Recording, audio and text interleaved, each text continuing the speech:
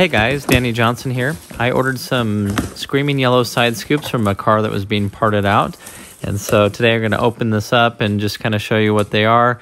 And I'm going to show you some tips on removing the side scoops. I have a full video that I'll put in the video description on how to properly remove them. And I'll also show you why you don't want to just yank on them. Now, of course, you have to understand that these are used parts, and so you can't expect them to be perfect. I did ask the seller on several accounts what the condition were uh, with them. I was never given a response. I just got a picture, and I asked if any of the tabs were broken. He said no, um, and so um, he did send pictures, and I didn't even notice that the bottom two tabs actually were missing completely. Uh, it could have been that way um, before he even got them because he was parting the car out. And in another conversation, he later told me that the car had been repainted a few times. I wish I would have known that.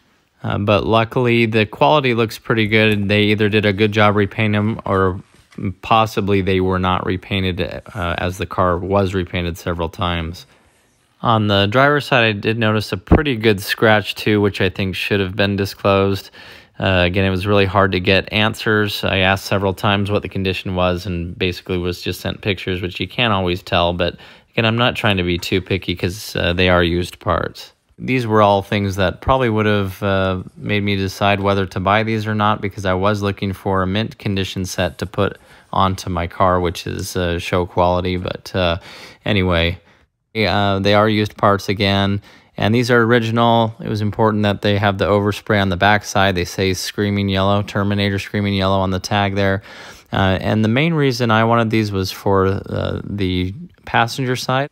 And so I lucked out that the passenger side one was near perfect. I was very happy about the condition, other than the missing tab and broken tabs on the back, which we'll uh, address here in a minute. But uh, this is why I wanted to get it. Uh, as you can see on my uh, stock one here, it has uh, a little nick out of it and a scratch. And so I just thought side scoops were something I could pop off, keep the originals, and then put these ones on.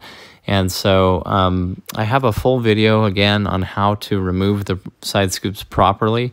People will tell you just yank on it, and you don't want to do that. Uh, it will break the tabs. So what you want to do is come on the inside of the car and push the tabs through the back. It's a little more work to do it this way. You have to undo the interior, which I'll show you step by step in the video. But as you can see, this way you can collapse these uh, little clips and then push them through. And as you see here, I did not break any of the tabs here. They're all still intact. And so to me, that's the proper way to do it, especially if you're doing this on a car that you really care about. So inside there's like a plastic piece that you'll go through and then you'll just uh, pop this out and uh, push it out. inside, here's mine. It has the original Screaming Yellow tag on it, which is really neat.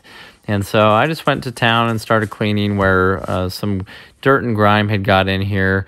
And uh, of course, you'll never be able to clean this without this off.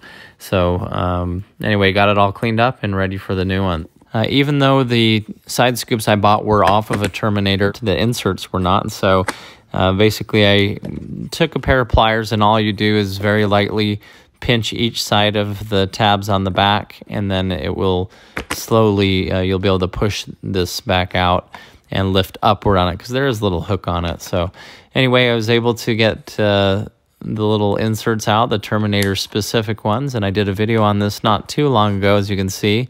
And so on the back side of these, uh, the word Terminator appears, which is really neat. It was one of the few places on the car other than the stickers that Terminator appeared when it really shouldn't have. It was a mistake by the manufacturer. So um, if you have lost yours, they do sell them on late model restoration reproductions for $25. They probably won't say Terminator on the back. But uh, anyway, um, I decided it was uh, I was going to go ahead and JB weld these down. And so um, I got the JB weld out, mixed it all up pretty good put it uh, underneath the tabs and then uh, set some pressure on it. So um, it turned out pretty good. In fact, it's more firm than uh, I think they're more sturdy than they started with. So pretty happy about that. Um, I did see that the top one was also uh, cracked, so I'm welding that one back together too here and uh, going to put it back together. Uh, I thought it was kind of fun too. I just decided to uh, write Danny Johnson inside this uh, scoop here where you won't see it with it uh, installed, but just kind of a fun little Easter egg hidden thing. Uh, kind of in the same way that it says Terminator on the back of the insert. Uh, now, late model restoration does sell brand new Ford OEM scoops. Uh, no hardware, and that's $100 each, so 200 for a set. So just something to consider as these parts are used, they're available, but you want to make sure that the tabs haven't been broken, that people haven't just yanked them off. Next, I took some double-sided sticky tape, and since we all know that one of the strongest forces in the universe is duct tape when it's on itself, uh, that's basically what this stuff is. So I folded it over again so it was a little thicker, and then I just went ahead and uh, went to push the side scoop in. So these should stay on as I'm doing my 175 mile an hour pulls in fifth gear, right? So everything's good to go here, and it has the Terminator side vents inside. And uh, so I went ahead and just pushed them back on. I really wanted to make sure that these wouldn't be loose and kind of move around. So uh, all the tabs uh, were in good place, especially this bottom one that I welded on entirely because it was missing. And these other ones look real firm now. So um, I feel like it's going to go on pretty well and still have the uh, authentic Terminator tag on the inside. And so I just lined it up and popped it on.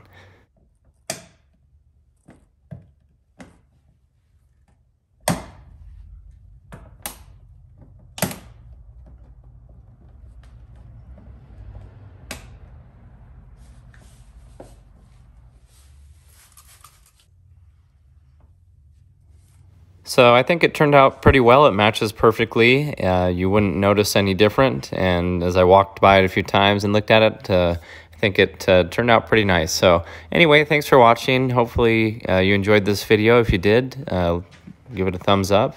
Uh, subscribe to the channel if you're new. If you're already following, please turn on the notification bell. And as always, thanks for watching.